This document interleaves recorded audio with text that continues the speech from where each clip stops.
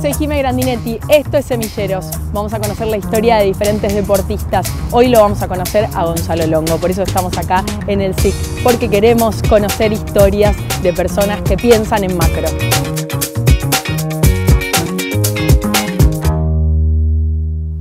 Estamos con Gonzalo Longo, una de las figuras más importantes de los Pumas, jugador histórico. Gonza, qué, qué bueno conocerte, qué lindo. ¿Acá arrancaste vos? Igualmente, Jimé. Eh, sí, arranqué a los nueve años a jugar al rugby. Obviamente, como todos los chicos de hoy en día, vine por mis amigos del colegio. Eh, papá no, no, era exjugador ni nada, así que lo que me trajo fueron mis amigos. Eh, empecé a los nueve años y bueno, toda una vida acá. Después, unos años me fui a jugar a San Fernando por, por, otros amigos del colegio que me llevaron y, me volví al SIC a los 16 años y ahí ya eh, seguí toda, toda mi carrera, mi vida acá.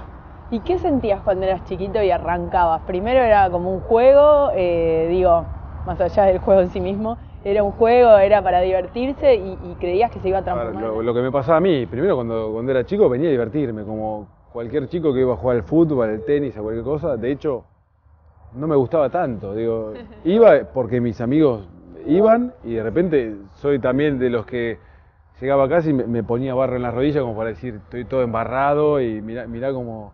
Ah, sí, así es un poco de, show. Sí, a los nueve años, olvídate. Y después, bueno, ¿cómo fueron esos pasos? ¿En qué, ¿En qué momento sentís que diste el gran paso? ¿En qué momento fue la decisión de pensar en, en macro? Mira, no, yo creo que de a poco vas creciendo, vas madurando, empecé, empezamos, se vienen las divisiones juveniles, eh, empezás a mirar eh, no solo que jugás para divertirte, eh, en el diario salía la tabla de, cómo iban todas las juveniles, los resultados del fin de semana, empezás a seguir, empezás a, ser más competitivo y decís, bueno, ahora quiero ganar, aparte de divertirme, que tampoco está mal aprender a hacerlo, claro, aprender a que se gane y se pierde. Eh, y bueno, a partir de ahí empecé a cada vez a tomármelo un poquito más, eh, con más ganas, más eh, en serio, y después empezaron, también cuando, cuando vienen las cosas lindas o cuando, no sé, la pasas muy bien con, tus amigos adentro de la cancha o te empiezan a llamar para, para, para quizás algún seleccionado, empezás a darte cuenta que, bueno, nada, todo el potencial que uno puede, puede tener. Una vez que ya eh, estabas con los Pumas jugando eh, en el Mundial puntualmente, ¿tuviste alguna situación para destacar algo que dijiste, esto no me lo olvido más? Eh, en el 2007 contra Escocia.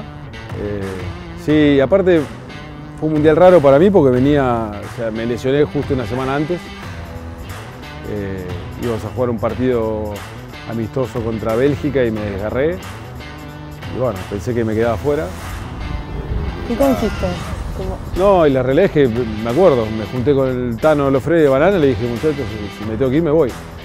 Eh, y ahí llamaron a un, a un kinesiólogo de un equipo de fútbol que estaba ahí, me vino a ver, y no dije, bueno, en dos semanas está jugando, y bueno, me bancaron y, pude, me perdí el partido inaugural, pero después pude volver para el último partido de la zona y poder jugar contra todo lo que, todo lo que seguía. Eh, y ese trae contra Escocia, bueno, sí, a ver, uno en el rugby siempre dice, trae, quizás lo apoya uno y es el esfuerzo de los otros 14. Eh, estaba en el lugar indicado, en el momento indicado. Eh, y fue muy, fue la verdad que un momento muy lindo por, por lo que nos pasaba a nosotros como equipo, era la primera vez que pasábamos a las semifinales, por cómo estábamos. Y después personalmente también, yo tenía un primo mío que se, que se murió, que jugaba al vóley, y, el negro Cosia, que era el que relataba el try, lo nombra cuando, cuando yo hago el try, dice, haciendo alusión a, Cristian, que era mi primo. Eh, así que me quedó ese recuerdo también para, para mí y para mi familia. Esta es una historia más de personas que se animaron a pensar en grande, a pensar en macro.